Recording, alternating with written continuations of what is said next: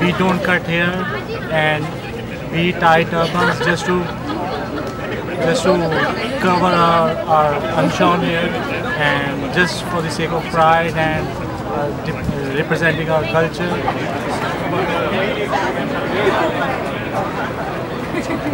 It usually takes around 10 to 12 minutes for me, but yeah, 10 to 12 minutes, that's fine.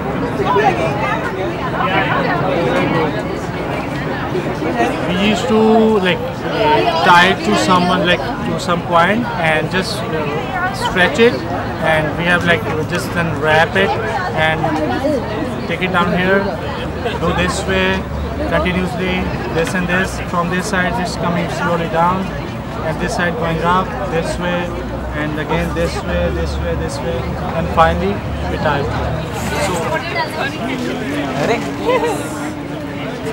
It's nice. People are coming. They have some food. They love to tie turban, and it's really something different in this today's world because they haven't seen people from like people like us because they are just uh, new to this. What is this? So it was a good experience for them. Tie turban for the first time and have selfies.